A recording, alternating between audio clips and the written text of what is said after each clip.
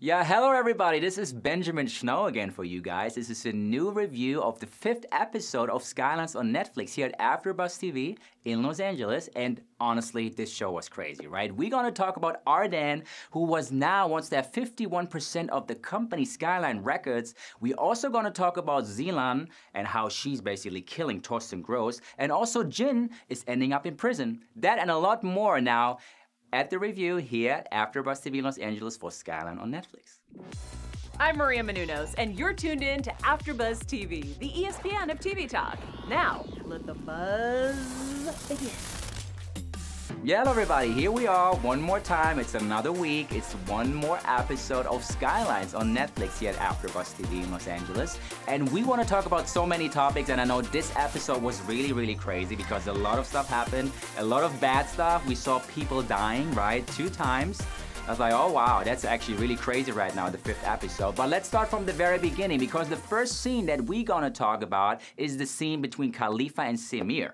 Because Samir, as you know, is hiding in a in a very secret place right now with his friends because obviously Ardan is looking for him because Samir killed a lot of people of Ardan, right? But Khalifa is basically the person, for me personally, who's more in trouble because Khalifa wants to save his company, Skyline Records, that what he that was he building with Samir. So Samir is a close friend, but Ardan is his brother. So what are you gonna do?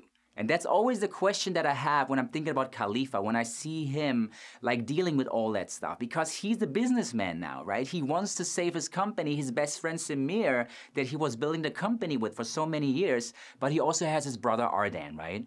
But at the end, we see Ardan is giving him like the biggest thing ever, which is something that I didn't really see coming because Ardan is asking him for shares, for company shares. He wants to be part of the company out of a sudden, and not just 50 or 49%. No, he wants to have 51% of the company.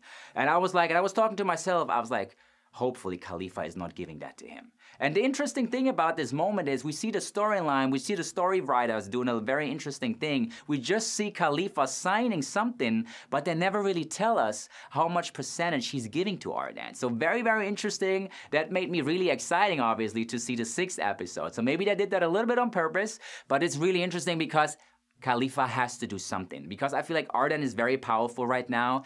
He has to do something against his brother. He knows that he's stronger than Khalifa right now. He's still dealing with his drugs, right? He's still trying to make a big business out of it. And he knows that he can use Skyline Records as his kind of base, his headquarters to basically create a whole business for Frankfurt. So that's very interesting to see. So I hope Khalifa is still finding a solution, and I also hope that he didn't give him 51% because that would be that would be his end, to be honest. On for me personally, if he does that, he cannot really compete with him anymore because 49, 51, what are you gonna do?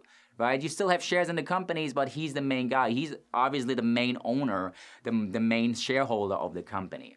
So that would be a little, little bit like a stupid move, to be honest. But you know, you never know. We're gonna be excited for the sixth episode. But before the sixth episode, we definitely have to talk about Zilan. I mean, we had a feeling, right? I have to say, Zilan, she seems kind of nice. In the fifth episode, we had a feeling that she's opening up even more to Jin, right? It almost feels like they have a romance or something. I don't know how you felt, but there was something going on in the bar, and she's talking to him like that. She almost sees him as her boyfriend. And I was like, whoa, that's very, very interesting. But then the second we see Thorsten Kross coming into the bar, Zilan is freaking out. And what is she doing? Obviously, she has her moment, she has her minute. She's killing Thorsten Kross in the parking garage. And that was a moment where I really had to swallow because that's actually trouble. That's big trouble for pretty much everybody. Because think about that for a second. We watch all the episodes and we know that Torsten, Thorsten Kross is connected to Mr. Dietz, who is the father of Jin. On the other hand, Zilan is very well connected to Ardan, obviously. And Jin is working for Skyline Records, which is the label of Khalifa, right? But now what we see is we have this combination of the different relationship that I was always talking talking about who had these different storylines. Now, out of a sudden, because of that moment of killing, it feels like all the storylines are coming together. And unfortunately, all the scenario was filmed by these cameras, by these security cameras, and they saw Jin, and at the end, Jin is ending up in prison, which is a not a very fortunate position to be in, obviously. I mean, we all know that he didn't really do much, but he's still in a bad position because he just wants to be a producer at the end of the day. He just wants to be a guy who's doing good music and beats for rappers. He doesn't really want to do anything with that stuff. And now, obviously, it was, was very, very obvious for me. I knew that this is going to happen for sure. Sarah is going to come back to the police station and is starting to get in touch with Jin. And remember, Jin is the son, as I said, of Mr. Deeds, and Sarah was always sending Thorsten Kross out to talk about Mr. Deeds and really find more information about it. So this kind of triangle right now opens up a lot more discussion because Jin can probably tell Sarah a lot more about her own or his own dad at the end. And Sarah hopefully finds a solution for Khalifa and Ardan. Because remember one thing, Ardan, Khalifa, and Sarah are very well connected over the last decades. They know each other. They started kind of a rap band, right? Remember. Sarah went the more normal, not more normal, but more positive way in terms of like becoming a police officer. So she wants to do it right in life. Ardan, on the other hand, he basically became more this kind of drug dealer.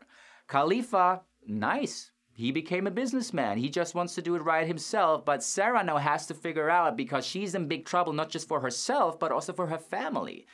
And I was always telling myself all the episodes before, Sarah, how can you actually do that? How can you be so like into these kind of cases because you can even hurt yourself, your own private life. And now at the end, we just saw what happened. We see that one hand of Dejan, who got killed by Ardan's people, laying in the front of Sarah's apartment door. The daughter is opening the door, the husband is opening the door, and everyone knows, okay, something crazy is going on here right now. And Sarah knows immediately, okay, I have to change that. I have to change my life. I have to change the situation. I have to find a solution for myself, Khalifa, and Ardan. Otherwise, maybe my family's going to be in trouble as well. So that's a very, very interesting constellation right now. So I hope that Sarah finds a solution in episode six. I really hope that. And also Khalifa, I mean, I feel so sorry for this guy, seriously, because he's a businessman, and I said, he's a music guy. He just wants to be successful. And he's a good friend of Samir, right? They have this label together. They just created that from scratch. And now Ardan is coming in. Of course, he gave money, we talked about that, for the record label from the very, very beginning. So they used the money to create all of that. But we, as we all know, if you want to create something from scratch, money is part of it, but you also have to have the will, you have the skill set, the attitude to really get it done. And that's what Khalifa did. He used the money, of course, I get it. So Ardan should might get some percentages of the company. That's fair, I get that, but not 51%. Please, come on. Please let me know what you think about that. Would you say that Ardan should receive 51% of the company or not? That would be really great to hear from you. Let me know in the comments. Just write it in English or German. I definitely get back to you on that. And I can't wait for the sixth episode, which is also the last one, ladies and gentlemen. I know it's hard to believe. I hope for a second season. I, I'm sure it's coming. It's very successful like everywhere pretty much. What I heard so far, the reviews are great, so I'm really excited about it. Thanks so much for watching. If you have any questions, reach out to me, right? You can also follow me on Instagram and Facebook. It's at Benjamin Schnau.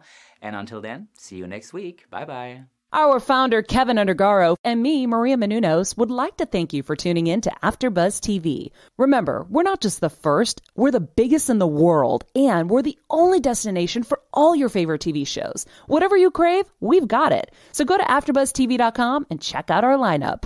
Buzz you later. the views expressed herein are those of the hosts only and do not necessarily reflect the views of AfterBuzz TV or its owners or principals.